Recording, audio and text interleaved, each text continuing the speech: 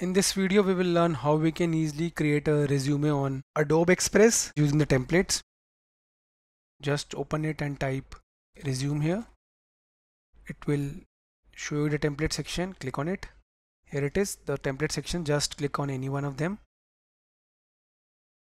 Okay. A lot of them are available for free. This looks more professional to me. I'll just add it.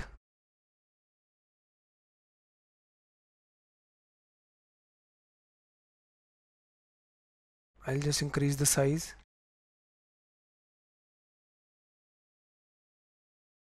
Firstly I'll just remove the image right click remove. I'll add my image. I guess I added it before it's under media. Or if you don't know how to upload from device. Amit. I selected this just add it here. Okay name. Let me add any name. Okay. What should I add it here? I'm an entrepreneur but I'll just add it consultant. Okay rest do rest you can do the changes easily. My website studyopedia.com phone number you can change your number here. Okay you can change to 25% you can add your profile here. Okay. And other things. If you want to change the format just click here and you can see the recommended options are visible. Options are visible but you want a professional font keep it as it is. Just add your text here by selecting and by just adding it.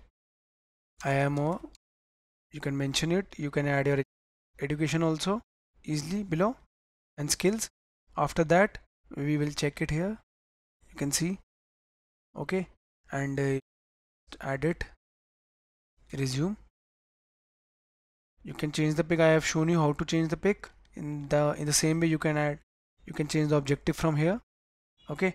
You can select them one by one. And these are the layers. You can select them one by one and do the changes. Let me download this. Png or you can also go for PDF I'll show you. Because generally PDFs are sent for resumes. Right click and open. Here it is. You can do the changes easily and just extract it here. That's it. Want PDF click here and PDF okay. Download. So you have your resume in PDF now from Adobe Express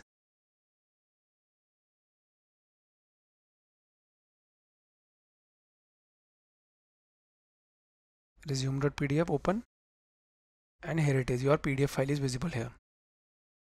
Okay.